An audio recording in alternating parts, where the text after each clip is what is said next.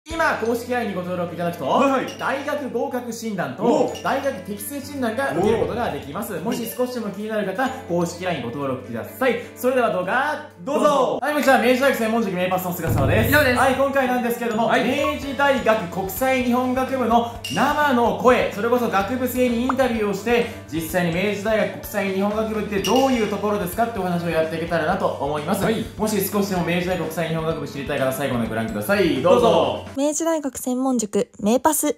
それではですね、今回は僕らの塾で、まあ、明治大学国際日本学部に通っている学部生にですね、インタビューさせていただいて、実際に明治大学国際日本学部どういうところですかと。ね、もうネットにも載ってないし、それこそパンフレットにも載ってないような明治大学国際日本学部、どぎつい情報を皆さんにご提供できたらなと思います。はいまず、明治大学国際日本学部とは何か、そこの概要からお話ししていって、生の声見ていけたらなと思います。概要どんな感じですか？はい、まず概要と学費はこちらにあります。どうぞというところで、明治大学国際日本学部は国際日本学科のみという形になっていて、学費が一応まあ150万円ほどという形になっています。結構高いですね。はい、そうですね。偏差値倍率、キャンパス、そして男女比と、えー就職率がこちらにあります。どうぞというところで。はいはいはいはい、まあ、見てみると、はい。お実際にキャンパスが中野キャンパスというところにありまして、基本的に明治大学和泉キャンパスっていう、まあ、明大前駅っていう、もう本当に明治大学のために作られたような、まあ、駅名があるんですけど、明大前駅のおところにまあ普通キャンパスはあるんですよね、なんですけどこの国際日本学部は中野キャンパスというものに属していて、新宿から大体5分ぐらいで、まあ、かなりいい場所です。本当に駅近だししかもキャンパスも最近確か2008年にできたばかりかな、はい。うんなのですごい新しいですよね、うんなので僕もねすごい憧れてるキャンパスなので、もしね明治大学に入り直すなら国際日本学部かなって思ってますね。僕も中野キャンパスが一番いいと思ってので、ぜひ行ってみていただけたらというわかりました。ありがとはうございます、い。どんな入試方式で受けるべきかという話なんですけど、こちらにあります。どうぞというところで学部別入試が基本的になるかなというふうに思います、うん。と倍率が低いですし、まあ、入試のあ定数っていうのも多いものになっているのでこちらをお勧めしますね。はい、はい、という形でここまでね明治国際日本学部の、まあ、概要みたいなものをねお話しさせていただきました。それではね早速生の声を聞いていけたらなと思うんですけど、まあ、僕らのね塾で働いてもらっている M 君にですね、はい。実際に国際日本学部の生の声を聞いていけたらなと思います、はい。まずはざっくり M 君にはい。何を学ぶ学部なのかちょっと聞いてみてもいいですか？はい、そちらはですね世界と日本両方学べる学部だというふうにおっしゃっていました。幅広いですね、どういうことですか、学部のテーマに世界の中の日本というのがあってそういうものを学ぶ学部で特に英語学習とかを中心に学んでいって日本っていうものを知った上で海外に出ていこうというふうに学びをできる学部そうですよね、はい。まあ、実際に日本方面だと舞台芸術とか、本当にそれこそアニメとか、うん。漫画とかそういう日本の文化とかも学べたりするので、日本のことも学べるし、うん。海外のことも学べる、はい。そして英語も学べる、ね、なんなら1週間に週8ぐらいで 英語があるなんて話も聞きますからね、はい。うんそれぐらい英語的でしかも日本のことも学べるっていう、結構客観的にも見れるし主観的にも見れるような学部かなっていうのは思いますよね。やっぱり世界方面でいうと各地方の国ごとの授業だったりとか、要は国際関係の授業っていうのも豊富だったりするのでそういうのがやりたいなと思ってる方はそうですね。おすすめ国際関係の仕事に就きたい方は、ぜひともですね、国際日本学部いいんじゃないかなと思いますよね。はい。続いて学部の雰囲気どんな感じか、結構ね、まあなんかめちゃめちゃみんなギラギラしてる感じなのかっていうイメージが、はい。まあ勝手にありますけど、どんな感じなんですか？メジってそういうイメージあると思うんですけど、うん。国際日本学部に関しては割と静かで落ち着いているそうです。なんだろうね。まあ、真面目な人が多い印象で、まあうん。特に男子は真面目な方が多いというふうにおっしゃっていました。ね、ただ女子は結構おしゃれでキラキラした人が多いイメージがあるから、まあ、国際系だったりっていうところがあるかなと思うんですけどそういうふうに聞いちょっとなんか男子がすごいちょっとあの、なんか圧というかね、プレッシャーにななりそうな感じしますけどね。わ、かりました。ありがとうございます。三つ目いきましょう。その学部に入って良かったことと悪かったことを聞けたらなと思います。はい、良かったことに関してはほとんど、まあ、毎日英語の授業があるので英語力が上がったというところと、うんあと日本文化についていろいろ学べたことというふうに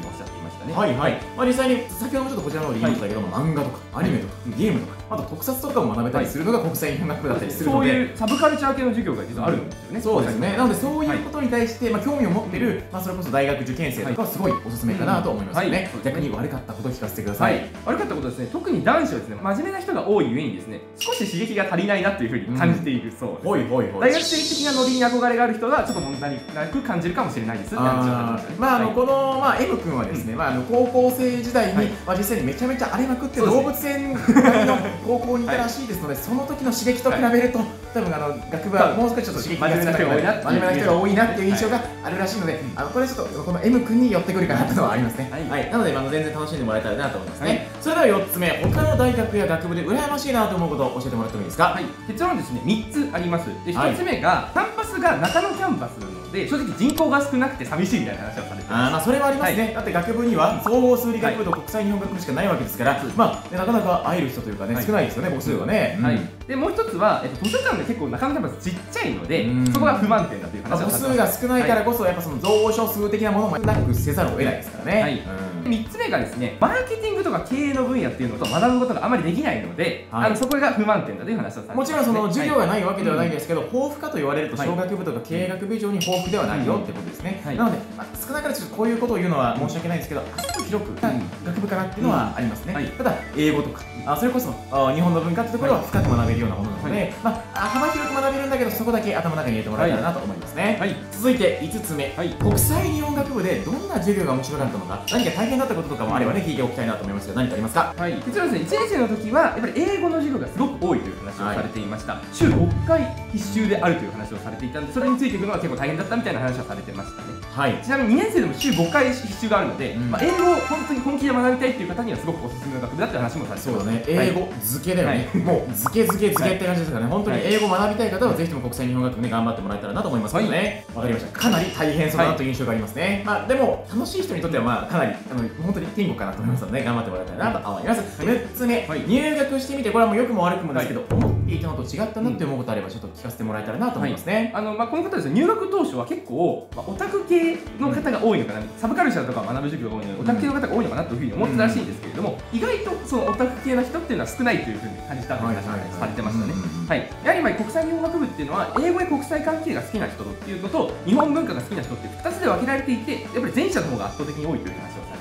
この子ちょっとあのオタク気質がありますよね、そうですちょっと同じ文化を求めていや全然違ったみたいなことがあったわけですね、はい。まあまあまあ意外と少ないんじゃないかなと思いますけどね。7つ目国際日本学部はどんな人におすすめな学部かちょっと教えてもらってもいいですか？はい、やはりですね英語国際関係多様性だったりとかあとサブカルチャーに興味があるっていう方におすすめの学部という話をされはいはいていました、はいはいまあ、またこれら以外にも結構学べる分野広いという話もされていたので、まあ、どういうことをやりたいか決まってない方にもおすすめだよっていう話はされてましたね。そうだね、はい。まあ、先ほども言いましたけれども幅広く学べる学部なので本当に情報系とか、はい。まあ、経済系経営系小学部系マーケティング系幅広く学べる学部ではあるので、まあ、ぜひともですね参考にしてもらえたらなと思います。逆にやりたいことが見つかってない人こそ入るべき学部なのかなとは思ったりしますね、そうですね。続いて8つ目どんな方向性に進む方が多いか。まあどういう就職先とかどういうキャリアを進むのかちょっと教えてもらってもいいですか、ってことですね結論から言うと旅行関係や航空業界が多いイメージがあるという話をされていました、はいはいはい。数年前には志望する企業の、まあ、一番っていうのが ANA だったっていう時期もあったという話も聞きましたので、まあ、今はちょっとコロナ禍でね航空業界とか少ないかもしれないですけどやはり、まあ、旅行業とかレジャー業というところを、まあ、志望する方は多いんじゃないかなというふうに。まあ、今後、まあ、もしかしたら上がっていくかもしれないですけど、まあ、ちょっとコロナでガクンと落ちましたからね、まあ、そこはしょうがないところかなと思いますけどね、まあ、やっぱ英語を使った仕事が、まあ、あー就職先には多いかなと。いうことですね。はい、続いてその M 君がはい。何か国際日本学部でやらかしたこととかが聞けたらなと思うんですけど、どうですか、この方ですね。実はゼミで自分で制作したグッズを同人即売会という形でグッズ販売したらしいんですよ、そこで大赤字になったことが、まあ、一番やらかしたことだっていう話をまあ、僕もちょっと商品とかグッズ見せてもらったんだけど、はちょっと売れるとは、あーなななんでなんでもないですよね、うん、まあまあまあって感じですよね。ただこういうことを、まあ、許容してくれるうん。学部であり、まあ、それができる学部っていうのは結構魅力的だったりもするかもしれないです。ね、はい。うん、現実的なことを考えたら、、はい。いや、これは厳しいんじゃないかっていう人もいるかもしれないけど、いや、頑張ったらって言ってくれる、まあ、後押しをしてくれる大人がいるってことはとてもいい学部ですよね。わ、うんかりました。続いて11個目いきましょう。何をしたら合格できるのか。うん。まあ、ちなみに M 君もね、まあ、実際にメジャー国際日本学部に合格した、ちなみに偏差値を本当に30とか40から上げてメジャー国際日本学部に合格した受験生ですから、ね、どうやって合格できるのかきたいですよね。はい、本人はですね基礎を徹底的に固めたことが、うん。まあ、合格した要因だったかなというふうにお話しされていました、はいはいはい。まあ、国際日本の受験に関してはどの科目もそんなに難易度が高いわけではないという話をされています、うん。なので高得点勝負になるのでどれだけ基礎を固めるかが重要ですという話をされてました、でですね英語に関してはやはり速読を極めるようにしてほしいという話はされていました、とにかく早いですからね、うん。国際日本学部ね。うん。勝負がとにかく長いって話もされてたので、時間との勝負になるので必ず速読音読とかを繰り返して速読できるようにしていただけたらというふうに話はされていましたね、はい。特にこのやっぱ M 君、まあ、うちで働いてるから分かるんですけど、まあ結構可愛いじゃないですか、まあ、可愛いあのお男の子ですよ、男の子がだあのだ、ね、大学3年生で、まあ可愛いですよ、はい。まあ素直で、まあ、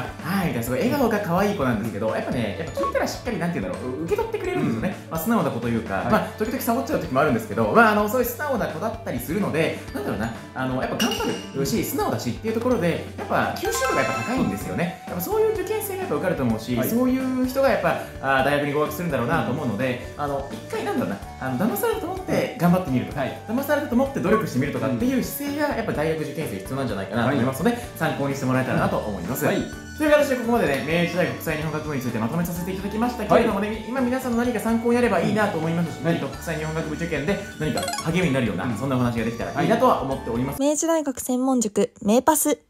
では最後なんか稲葉先生からはい。大事なお知らせがあるので、目ん玉かっぽちって見てみてください、はい、僕らはですね、えっとまあ、明治大学専門塾というか、明治大学専門塾はい。メイパスというものを運営してますね、はい、なので国際日本学部に行くためにはどういうことをすればいいか。毎日こういうふうにやっていけば勉強できるっていうカリキュラムを作らせていただいて最短距離で合格できる塾を運営しております。はい。ね、ですので、もし少しでも明治大学に受かりたいなとか、明治大学国際日本学部に受かりたいなっていう受験生は、ぜひとも一緒に勉強できたら嬉しいなと思います。ただ、今結構お問い合わせが激しいので、もしかすると無料説明会が日程合わない場合もあるので、早めに申し込んでいただけたらすごい嬉しいなと思います。概要欄に詳細載せてるのでもし興味ある方は見ていただけたら明治大学専門塾メイパスの公式サイトとね、あのお問い合わせ、えーありますので、皆さん概要欄見てください。はいそんな感じです。今回はありがとうございました。ありがとうございましたここまでご視聴いただきありがとうございました現在ですね早慶 G マーチカンカン同率に特化した大学受験塾を運営しておりますもし少しでも早慶 G マーチカンカン同率に合格したい受験生概要欄から公式サイトをご覧いただけたらなと思います一緒に合格目指しましょう